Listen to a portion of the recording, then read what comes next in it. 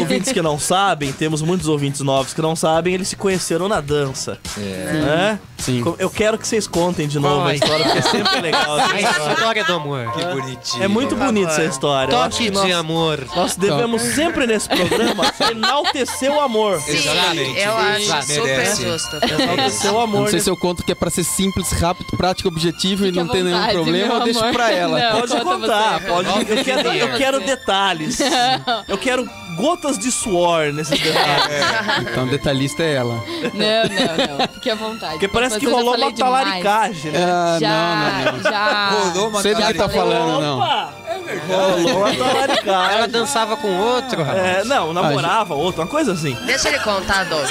É, Eu tava é. precisando de uma parceira, a gente começou a treinar junto, não necessariamente seria ela, eu tava treinando com outras meninas É. também.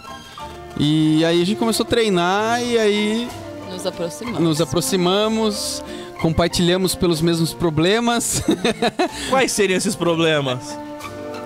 e agora eu não sei. Infelicidade, infelicidade no amor, pronto. É. Vocês. Você tava namorando, né? Crises amorosas. Você vai. tava namorando, né, Ale? É, né, Você tava com o cara lá.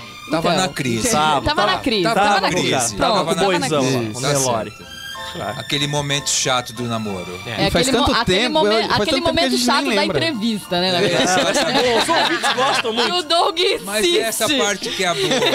Os ouvintes gostam muito dessas Eles partes. adoram. Falar de dança é muito assim, Porque muito superficial, Não, né? porque você veja bem, ela namorava o, boizão lá. Opa. Tava com o boi, tava um relacionamento Tá ruim. Tá Aí certo. chegou o cara, Opa. que é sempre Ah, o o lazarento que destrói o É, relacionamento. o gingado. Né? O novo Sempre tem. gingado. Ele né? chegou assim, me permite essa Por favor. contradança? Dança. E aí eu lembro que a primeira vez que a Ale, a Ale, ela contou essa história nesse programa, ela falou: Aí eu senti que o Eduardo tinha a pegada. A pegada.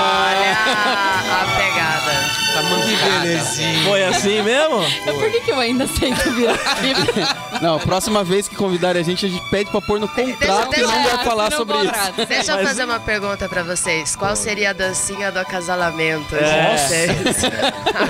Eu gosto que dancem Anitta pra mim ver. Ah, vai Nossa. dormir, cara. Anitta. Eita. Anitta, cara. Alguém já fez isso? A gente já Já. passou por muita coisa já.